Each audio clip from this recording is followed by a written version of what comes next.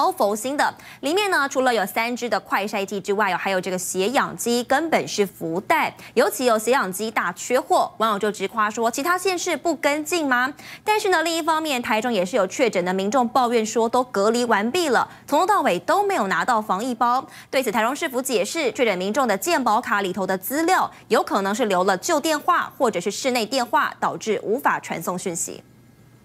目前你确诊的话。可能会被鼓励三天左右。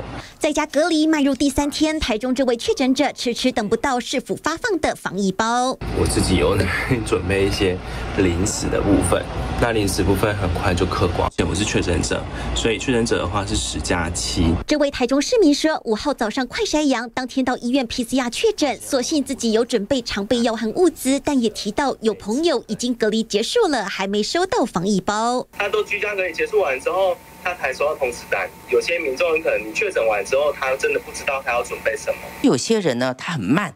那甚至有些没收到，因为这个资料可能是你以前的手机，也可能是那你小时候的时候你根本没有手机，也可能是你留家里的电话。师傅回应，不少确诊者过往健保卡上留的是旧电话，导致医疗困难，加上确诊人数暴增，作业时间增加。不过也有网友直夸台中防疫包附有血氧机，根本是福袋。其他人回应有血氧机真否？现在很缺货，其他县市不跟进吗？比较贴心的，我们还有准备血氧。